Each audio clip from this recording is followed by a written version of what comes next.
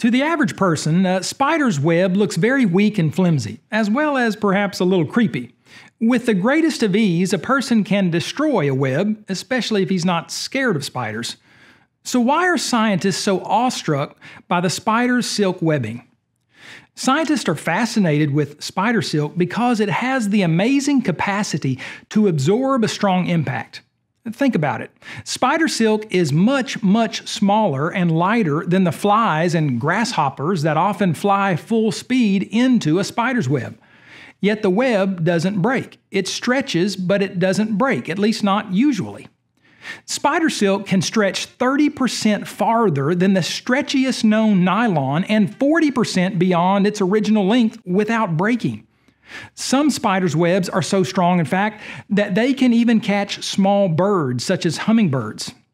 Yes, some spiders will catch and even eat birds.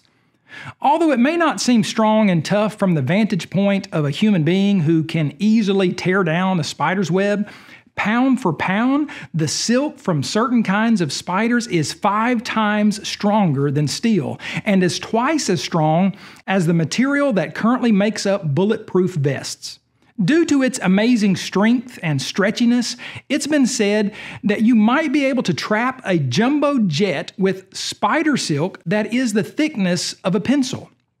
To top it all off, the silk from spiders is waterproof. Spider silk is made up of chains of amino acids, protein, an arrangement that is responsible for the silk's amazing strength. Can you imagine how useful it would be if we could produce our own spider silk? Since harvesting silk from spiders is not very practical, scientists have attempted to make artificial spider silk that could be used in anything from bridge cables to airbags, and from non tear sports jerseys to artificial tendons. We could make soft, lightweight, bulletproof vests for policemen, vests that would absorb more impact than current ones. How have scientists fared so far? Although they've made some progress, one scientist admitted that despite years of research, artificial webbing can't even come close to equaling the amazing qualities of spider produced silk. Sadly, this same scientist believes that spiders just evolved the capacity to spin silk. Are we to believe that the mastermind behind the light, stretchy, shock absorbing, tougher than steel, better than anything man made spider webbing is undirected, accidental evolution? Common sense says no way. Obviously, if scientists must spend countless hours trying to design a way to reproduce spider silk, it's unreasonable to conclude that the natural silk which spiders make is a product of random mutations and millions of years.